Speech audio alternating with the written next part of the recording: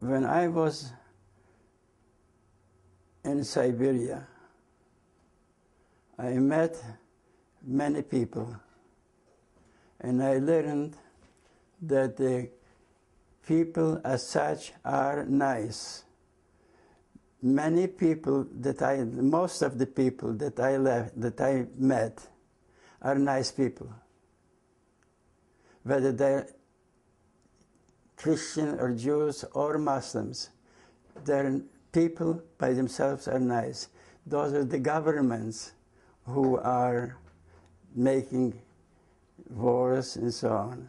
People should live in, live in peace, that uh, religious differences should not